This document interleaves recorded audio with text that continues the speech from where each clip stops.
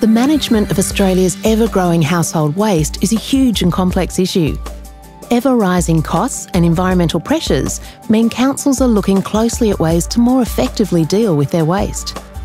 Back in 1996, Port Stephens Council decided to tackle this issue proactively and brought the first advanced resource recovery technology of its kind to Australia. As a result, since 1999, all Port Stephens residents' general waste has been processed through this composting technology, which is owned and operated by SITA Australia. After collection, the contents of household bins are taken to the Advanced Resource Recovery Centre to be processed.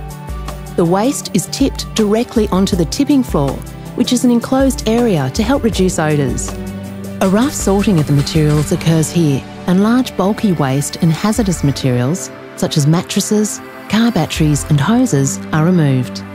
The waste is then placed on a bouncing conveyor belt where gravity assists to remove more unsuitable wastes. After sorting, the waste is fed into two large digesters. The digesters are long vessels 60 metres in length and 4 metres in diameter which turn continuously to circulate air. The waste will remain inside the digesters for 72 hours at a temperature of around 55 degrees. Organic materials such as food scraps, garden clippings, paper and cardboard are mixed together inside and begin to break down quickly. This process is known as aerobic composting. After three days inside the digesters, the raw compost is removed and the inorganic waste is separated via a screen.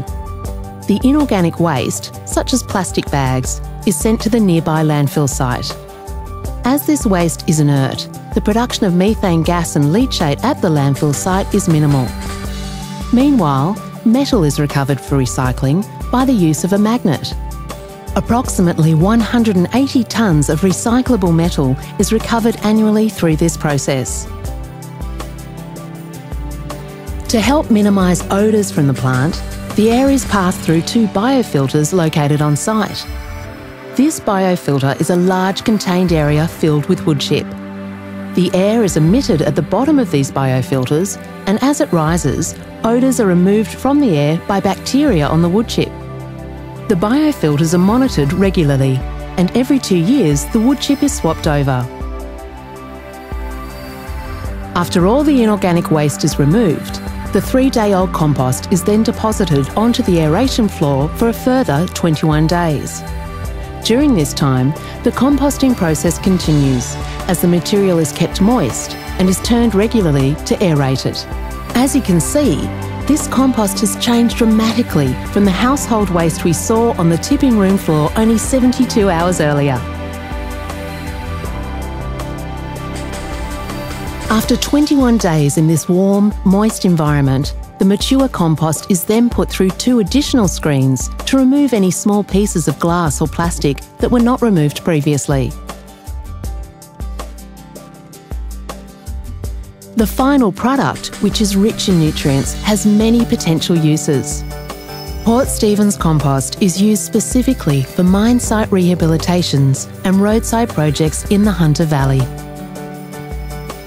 The impact of this resource recovery technology is profound. No longer do we see millions of tonnes of waste taking up huge tracts of land across the Port Stephens Council area. Instead, the plant processes more than 40,000 tonnes annually, turning our region's unwanted waste into a valuable natural resource. With the help of a two bin curbside collection service, over 50% of Port Stephens domestic waste is recycled and diverted from landfill. Previous landfill sites in the local area have now been converted to valuable sporting and community facilities. This sophisticated composting technology delivers not only great resource recovery, but also real value for money to the community.